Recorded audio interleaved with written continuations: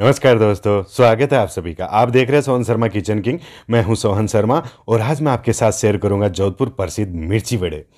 अगर आप मिर्ची वड़े खाने के शौकीन है ना तो ये वीडियो आपको बहुत पसंद आएगा और बहुत ही बढ़िया रेसिपी होने वाली है। इसलिए वीडियो को शुरू से लेकर एंड तक पूरा ज़रूर देखना और पहली बार हमारा चैनल देख रहे चैनल को सब्सक्राइब कर लीजिए और साथ ही दबा दीजिए बेल आइकन का बटन ताकि हमारी हर नई वीडियो आपको सबसे पहले मिले। तो चलिए, बनाते हम बढ़िया गर्मा गर्म मिर्ची बड़ा।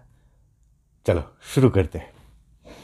सबसे पहले मैंने ये 500 ग्राम बॉयल आलू लिया, जिसको मैंने छील लिया है। बॉयल किए हुए आलू है। और ये मैंने 10 पीस करीब मिर्ची ली है, जिसमें मैंने देसी मिर्ची ली है मोटी मोटी और ये कुछ तीखी पतली मिर्ची भी है। अगर आप, ये थोड़ी कम तीखी होती थोड़ी ज़्यादा तीखी होती है। और ये मैंने एक बड़ी चम्मच बारीक कटी हुई हरी मिर्ची और ये बारीक कटी हुई एक बड़ी चम्मच अदरक और ये दो बड़े चम्मच काजू की टुकड़ी ली है मैंने। और अब आपको क्या करना है, मिर्ची का डंठल नहीं हटाना है, मिर्ची को इस तरीके से चाकू की मदद से बीच में चीरा लगाना है। और इसके अगर अंदर ज़्यादा बीज हो तो थोड़े से बीज आपको हटा देना ताकि स्पाइसी कम हो। इसी तरीके से सारी मिर्ची को आपको तैयार कर लेना है। और ये मैं एक बड़े चम्मच साबुत धनिया, एक छोटी चम्मच सौंफ और आधा छोटी चम्मच काली मिर्च और ये एक साबुत सूखी लाल मिर्ची। ये मसाला है, बहुत ही बढ़िया टेस्ट आता है, अगर आप इस तरीके से कूट कर लेंगे तो। इसको इस तरीके से हाथ से कूट के, नहीं तो आप मिक्सी में भी कर सकते हैं, दरदरा कूटना है, इसको इस तरीके से कूट कर लेना है। इसकी खुशबू बहुत अच्छी आती है, अगर फ्रेश इस तरीके से हम कूट के लेंगे ना तो मिर्ची वड़े का स्वाद ही अलग होगा। तो इस तरीके से कूट के लेंगे तो ज़्यादा अच्छा नहीं तो मिक्सी में भी आप कर सकते हैं। ये मसाला रेडी है। इसको हम रख देते हैं साइड में और अब हम बना लेते हैं उसके लिए बेसन का टिप दो कप मैंने बेसन लिए है, नॉर्मल बेसन, जो बारीक बेसन होता है, हम घर में रात दिन यूज़ करते हैं, वही वाला, दो कप अच्छे से भर भर के। और ये दो चुटकी मैंने मीठा सोडा लिया है, इससे ज़्यादा नहीं लेना है आपको, दो चुटकी। ये मैंने मीठा सोडा डाल दिया और ये आधा छोटी चम्मच मैंने अजवाइन ली है। और ये दो तीन चुटकी हींग है स्ट्रोंग हो तो कम डालिए, अगर नहीं स्ट्रोंग है तो दो तीन चुटकी डाल दीजिए अच्छे से। इससे क्या है, मिर्ची बड़ी में स्वाद भी अच्छा आएगा और डाइजेस्ट भी बहुत अच्छा होगा। चौथा ही छोटी चम्मच हल्दी पाउडर डाला है और ये आधा चम्मच मैं नमक डाल रहा हूँ इसके अंदर। नमक आप स्वाद अनुसार डालिए। अब इसको अच्छे से मिला लेते हैं और थोड़ा थोड़ा पानी डाल के इसका बैटर तैयार करना है हमें। किस तरीके का बैटर तैयार करना है आपको पता है? ये हम जो चीला बनाते हैं ना, उससे थोड़ा टाइट बेसन होता है। इतना टाइट होता है कि हम मिर्ची डबोए इसके अंदर, मिर्ची के ऊपर बेसन लिपटा हुआ रहना चाहिए, ना कि मिर्ची डबोते ही बेसन उतर जाए, ऐसा नहीं होना चाहिए।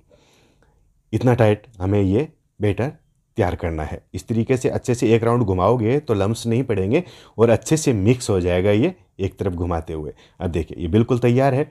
अजवाइन डाली हमने, क्योंकि इसके अंदर स्वाद भी अच्छा आएगा बेसन के अंदर। अजवाइन का कॉम्बिनेशन बहुत अच्छा है।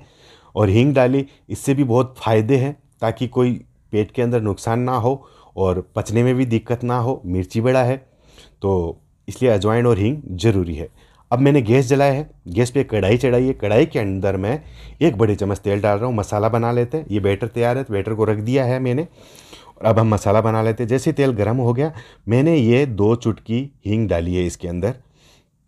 और हींग डालते आप, अब आपके पास दो बड़े चम्मच काजू टुकड़ी है, वो डाल दीजिए कटिंग किए हुए काजू और गैस को कर दीजिए धीमी आँच में ताकि ये काजू भी है ना, थोड़े से ब्राउन हो जाए। ये ऑप्शनल है, आप डालना चाहो तो डाल सकते हो, बहुत अच्छे लगते हैं। और ये हमने जो मसाला कूट कर तैयार किया था, वो सारा हम डाल देते हैं इसके अंदर, ताकि इसकी भी, ये भी थोड़ा सा पक जाए, बीस सेकेंड, गैस को धीमी आँच पे रखना है। उसके तुरंत बाद आपको चौथाई छोटी चम्मच हल्दी पाउडर डाल देना है। इससे कलर बहुत अच्छा आएगा। मसाले का कलर होता है ना पीला पीला अब मैं इसके अंदर, हमारे पास जो एक चम्मच बारीक कटी हुई हरी मिर्ची थी, बड़ी वाली, वो डाल दी, और एक बड़ी चम्मच बारीक कटी हुई अदरक थी, वो भी मैंने डाल दी है। अब इस तरीके से इनको चला देंगे हम, और हमारे पास जो 500 ग्राम आलू है उनको मैंने बारीक काट लिया था, वो भी हम डाल देते हैं इसके अंदर तीस सेकेंड चलाने के बाद। ये 500 ग्राम बॉयल आलू थे, छील के मैंने बारीक काट लिया इनको, ये भी मैंने डाल दिया। ये मसाला ही होता है मिर्ची बड़े के अंदर, जो मिर्ची बड़े की जान होता है। और इसी से ही टेस्टी बनते हैं। ये चटपटा अच्छा बनेगा ना तो मिर्ची बड़े बहुत ही अच्छे बनेंगे। अब हम इसके अंदर मसाले डाल देते हैं। मैं नमक डाल रहा हूँ, आधा छोटी चम्मच, आप स्वाद अनुसार डालिए। उसके बाद मैं आधा चम्मच इसके अंदर अमचूर पाउडर डाल रहा हूँ। और इसके बाद मैं इसके अंदर चौथाई छोटी चम्मच काला नमक डाल रहा हूँ। इसके बाद मैं चौथाई छोटी चम्मच इसके अंदर गर्म मसाला पाउडर डाल रहा हूँ। और इसके बाद हम इसको थोड़ा ऐसे टर्न कर लेते हैं और चौथाई छोटी चम्मच लाल मिर्ची पाउडर डाल देते हैं। ज़्यादा नहीं डालना है क्योंकि मिर्ची ऑलरेडी है। चौथाई छोटी चम्मच डाल देते हैं ताकि कलर अच्छा है इसका। और अब हम इसको चला लेते हैं और इसे थोड़ा मैश करना है हमें, एकदम मिक्स करना है। कई बार क्या आलू थोड़े गीले गीले से होते हैं तो कोई बात नहीं, ठीक होते इसको थोड़ा मैश करके थोड़ा पानी का छीटा देंगे ताकि ये थोड़ा नरम हो जाए मसाला।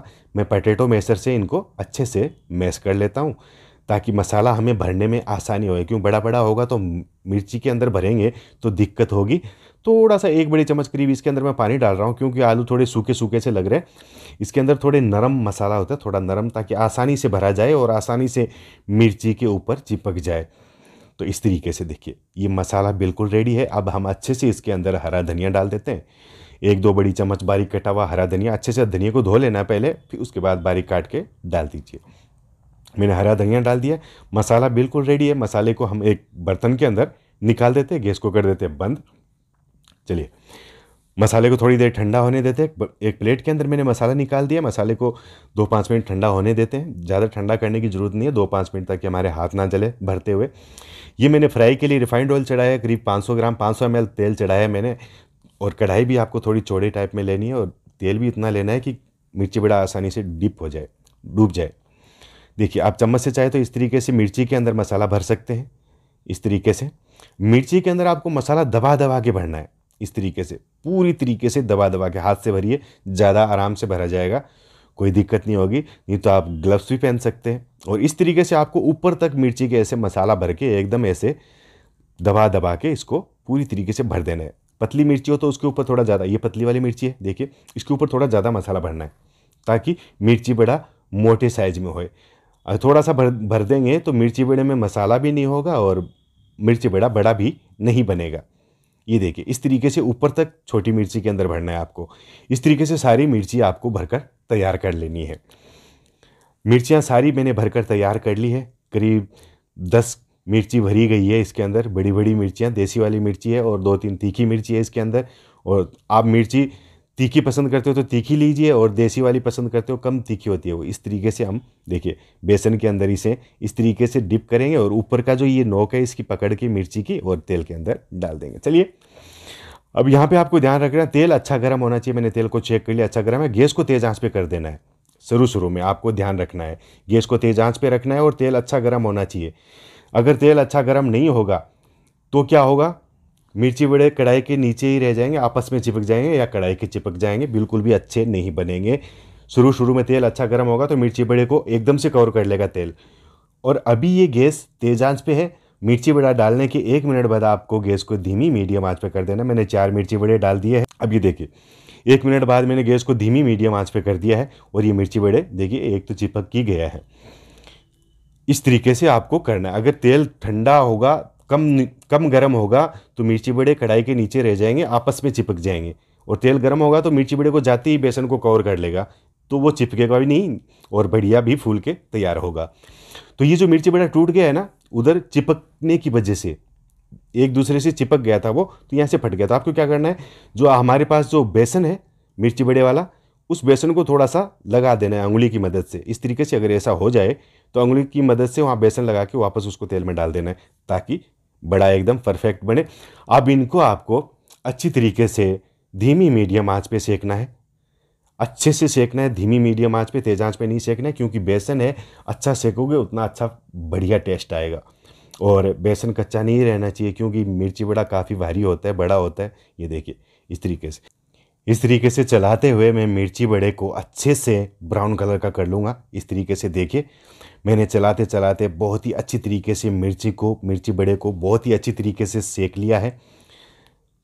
सात आठ मिनट लगे हैं मुझे धीमी मीडियम आँच पे इन मिर्ची बड़ों को पकाते हुए, अच्छे से पकाना है मिर्ची बड़े को, इस चीज़ का ज़रूर ध्यान रखिए, ताकि मसाले में अच्छा टेस्ट बैठे अंदर और बेसन भी अच्छी तरीके से सीख जाए। एक एक करके मिर्ची बड़े को हम बाहर निकाल लेते हैं।